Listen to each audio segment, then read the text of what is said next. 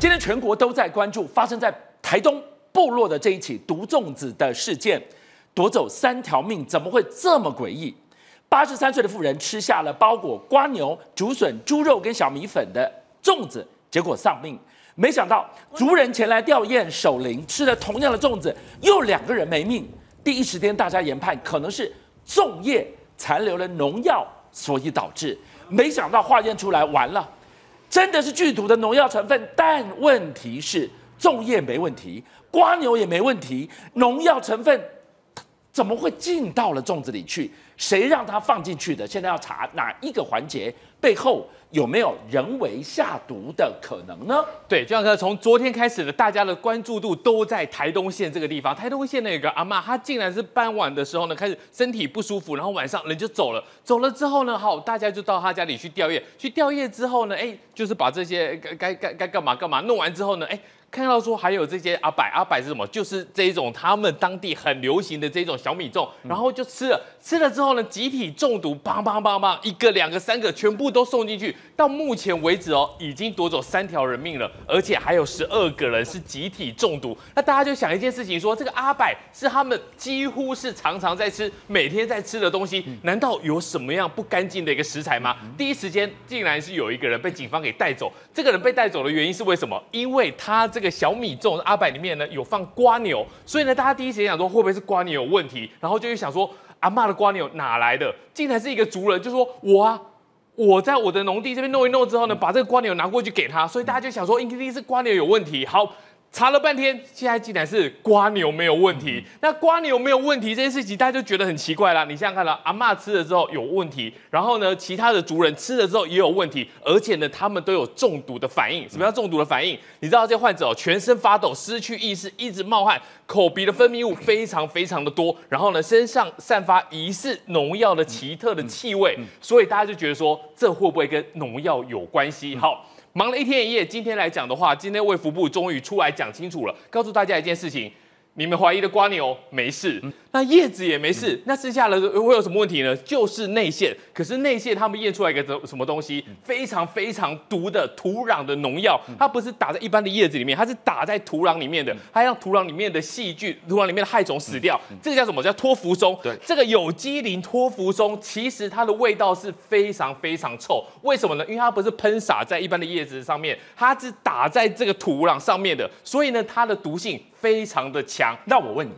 应该是打到泥土里非常臭的这个农药的一种，对，它不应该出现在粽子里。我刚刚提到了，你知道粽子有什么？有瓜牛还它清白了，有包粽子的叶子，我们也还它清白，还有竹笋跟猪肉。跟小米粉有没有可能来自于这些地方？不对啊，因为你打在泥土里的农药怎么可能出现在猪肉里？对，这个重点就是说，为什么这个案子这么难查？如果是瓜牛，瓜牛是谁？族人已经举手，瓜牛我要上阿妈呀。对。那如果是叶子，谁去采的？他们家的人去采的。所以如果是瓜牛，如果是叶子，那就中了嘛，对不对？问题是特别，我们看这个老婆说，阿柏是什么样一个东西呢？它这个肉粽呢，小米肉粽，阿柏里面呢是里面可以用什么？把内馅用食用的叶子包着，再用月桃叶来外包煮熟。好，内馅的重点就是你打到什么就吃什么。所以呢，我们刚才不是讲到瓜牛嘛？有人送瓜牛就把它丢进去，把对，把它弄。然后呢，有其他的笋子我就把它弄进去。那这样子就复杂了。因为如果你是瓜牛，你可以只身，你可以找到人；如果你是外面的叶子，你可以找到人。那那个内馅大家就搞不清楚了。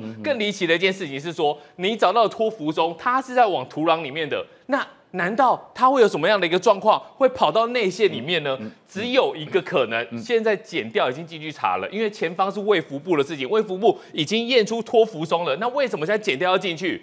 你如何让土壤里面的毒物变到内线里面？如果没有一个人。人为把它加工，或者是把它做一些处理的话，它是不会跑到阿妈的阿伯里面，不会跑到这个内馅里面的话，大家怎么会吃得到？更离奇的一件事情哦，阿妈其实她吃下去之后呢，她旁边有个小小狗，它是有分一块给她的哦。可是大家回头去看的时候，哇，阿妈走了，小狗却是活的，所以呢，这件事情就更离奇了。难道是小狗吃的那一块？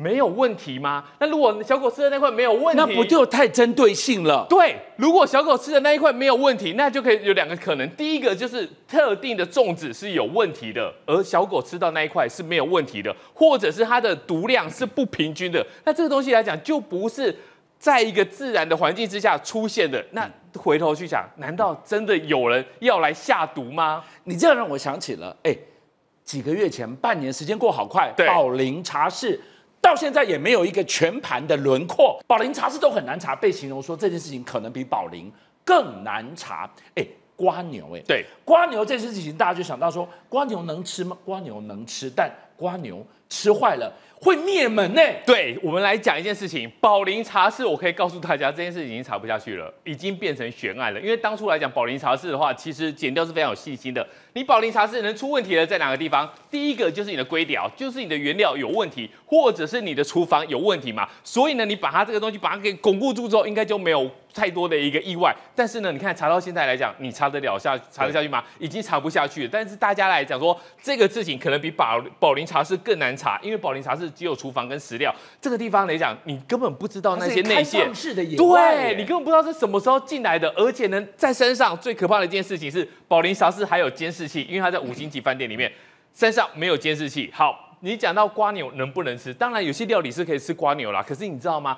大家餐桌上面的金兰酱油，以前发生过一个跟瓜牛有关系的灭门案件，你知道吗？他们的第二代在一九八五年的时候，他的第二代负责人邱中贵，他那个时候呢有朋友告诉他一件事情，说哦，你吃瓜牛可以养生，可是你不是随便吃瓜牛哦，你要去找什么？非洲大瓜牛来养，不是说你抓到你就来吃，你要去养这个非洲大瓜牛。你要怎么养呢？你要用生菜叶子、青菜去喂食它，而且呢，你喂到什么时候呢？你要喂到它排出绿色的大便，代表什么意思？代表它身上的毒气。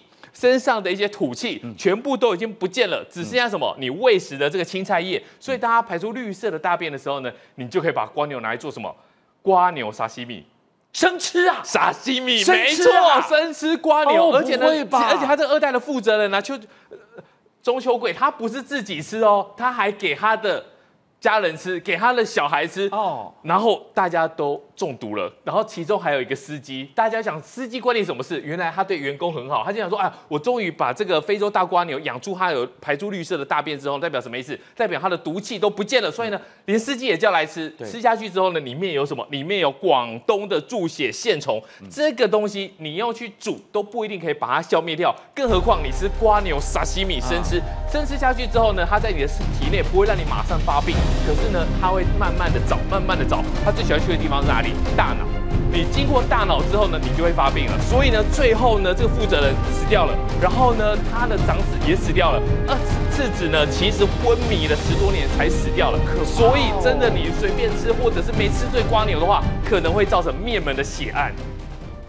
五七报新闻的所有好朋友，你们给了我百万的订阅，真的无限感激。我要跟大家瞪眼看，再一次谢谢你们大家，同时请介绍更多好朋友来支持武器报新闻。俊相还有优秀的武器报新闻团队会继续为大家每一天挖